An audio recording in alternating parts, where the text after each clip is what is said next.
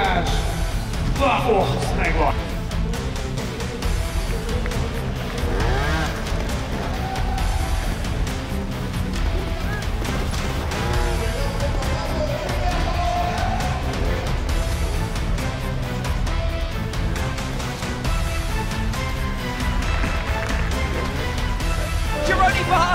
Completes the podium here tonight.